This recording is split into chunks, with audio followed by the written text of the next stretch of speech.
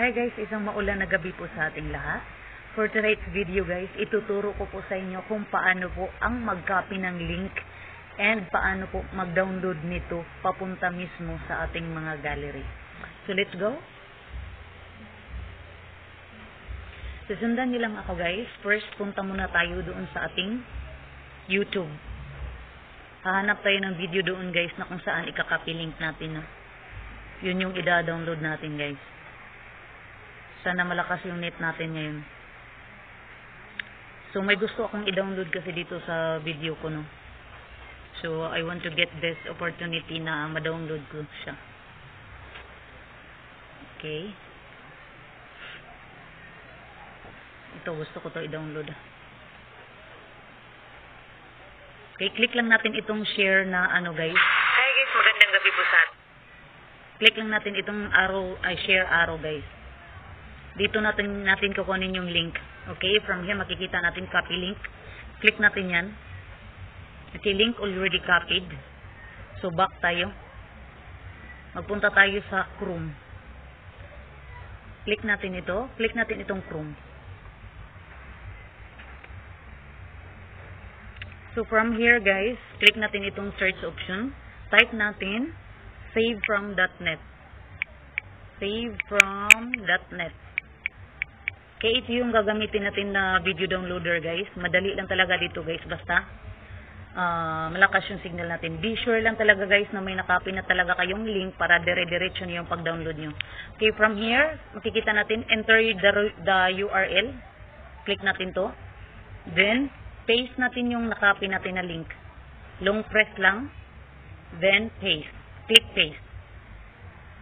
Kaya nakikita natin guys, processing the link to download, stay on the page. So pag nandito na tayo guys, hindi na tayo magpunta pa sa ibang mga ano, dapat stick to one na talaga tayo dito guys. hindi tayo maglipat ng kahit saang page, okay? So nakikita na natin guys yung video na gusto natin i-download. i-download. Just simply click lang natin itong arrow guys. Itong arrow na pababa. And maghihintay lang tayo ng ilang sandali at magda-download na yan siya. Pinaprocess pa niya ang ating pagda-download at maghintay lang tayo ng ilang sandali, ano?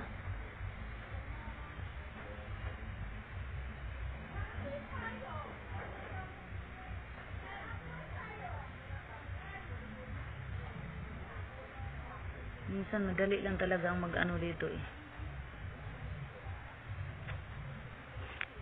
Tingnan natin dito sa ano pag kung nag-ano na ba siya. Wala pa.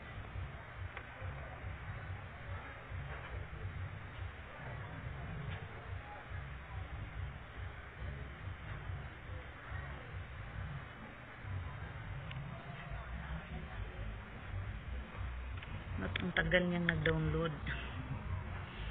Dito na ako sa gilid ng, ng bintana namin guys. Ay, ba't nawala yung ano natin, link natin, i-replace natin yung link.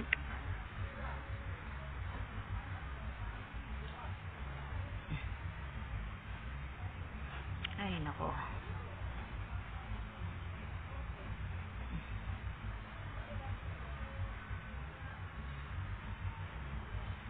Balik tayo sa site guys. Pag mag-ano lang siya, pag mag-alis siya sa ano niya, kasi may binutingting kayong iba-iba, just simply click pa rin nyo, i-paste nyo pa rin. Kung na ano yung gi-ano nyo. Basta yun na yung process niya talaga guys. Ulit-ulitin lang natin ito guys kasi medyo mahina talaga ang ayan, signal.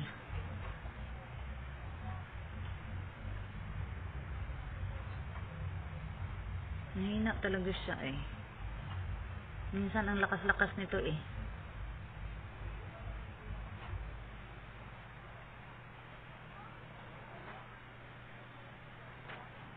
Click natin itong ano.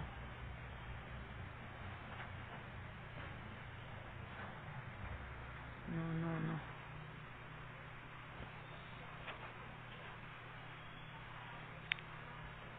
Nagpupunta na naman siya ng kung saan-saan.